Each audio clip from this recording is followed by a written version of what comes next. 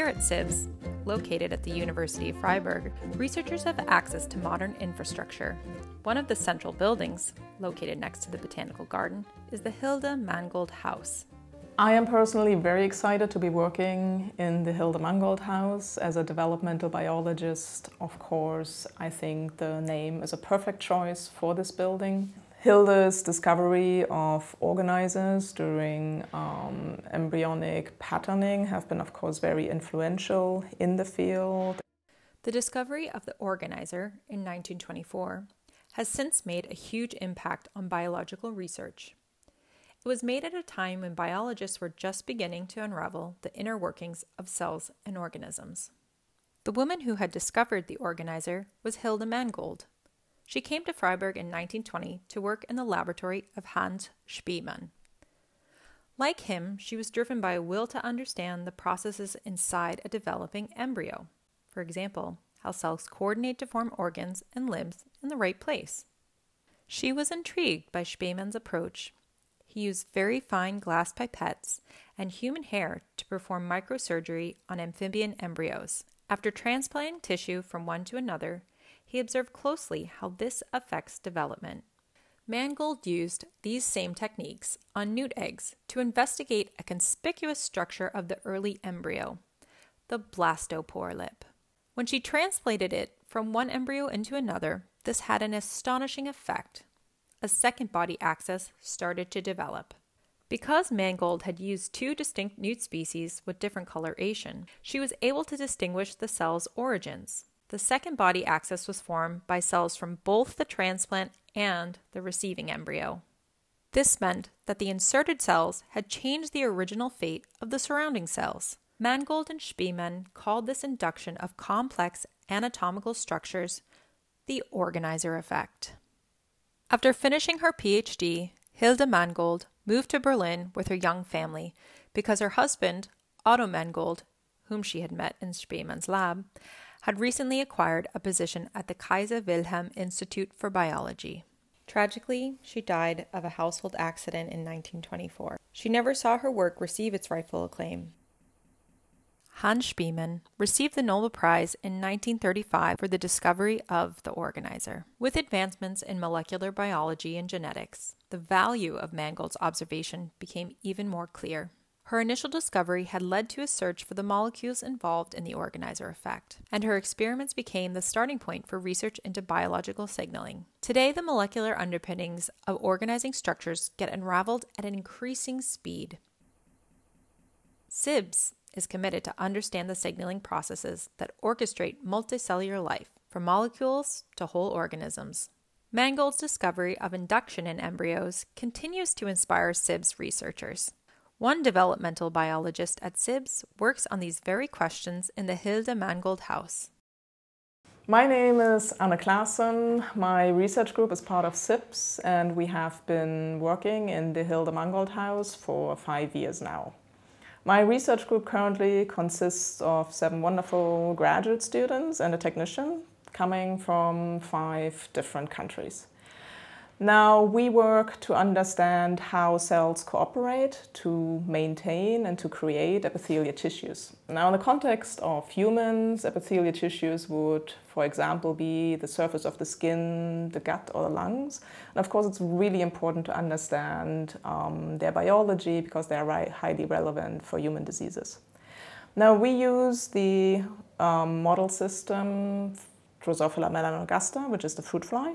And what we are trying to understand is how they use adhesion and cytoskeleton to create organ shape, but also how they use these two cellular structures to actually eliminate aberrant cells and suppress tumors in these tissues. We are actually currently playing with ideas of organizer-like activities during wound healing. And so her work has been very influential to our current research.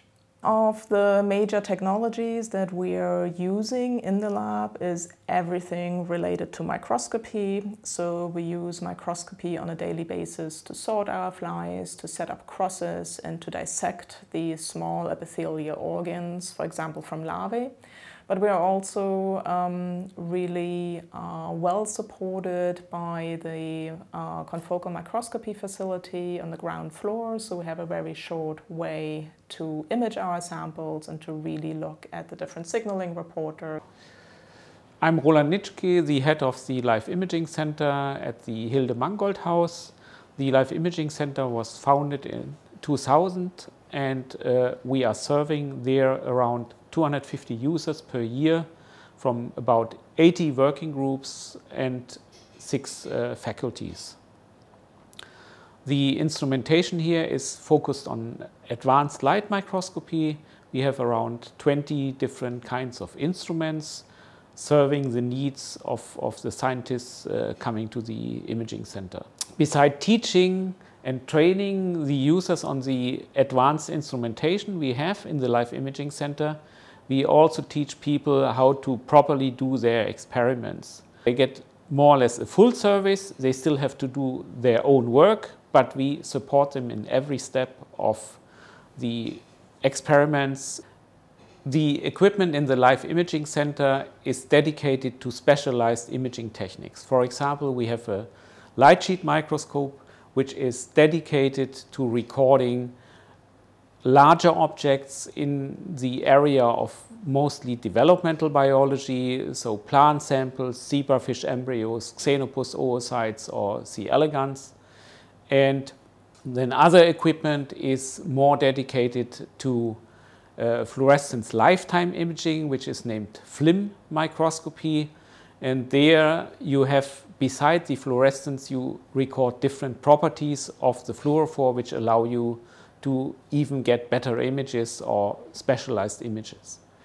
We offer two photon microscopy, which is a dedicated technique to image deep into an object, one to two millimeters. So it's dedicated for brain slices or again embryos. We have different kind of super resolution imaging. One is STED microscopy, and this allows uh, to resolve very fine details below the optical resolution.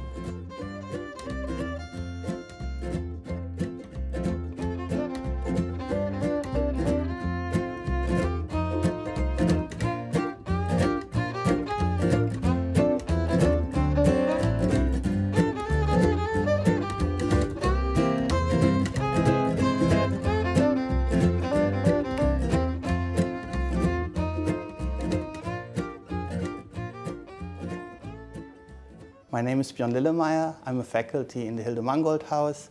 Uh, my lab started here in January 2021 and we are interested in immunology, specifically how T cells become activated during immune responses and how these mechanisms that we find can be used for future uh, immunotherapies. And uh, specifically, we're really interested in how molecular events happen at the plasma membrane. And to this end, we use a lot of in vitro technology where we use recombinant proteins to analyze these events in vitro in a test tube. But we're also doing analysis in T cells themselves, and for this we use a lot of microscopy technology that we're doing here in the microscopy core. So the Hilde Mangold House is ideally located to collaborate with people in the Signal House, but also in the Bio 3 and Bio 2. 100 years after Hilde Mangold's groundbreaking experiments, the research building named after her provides an ideal environment for Freiburg signaling scientists to make new and exciting discoveries.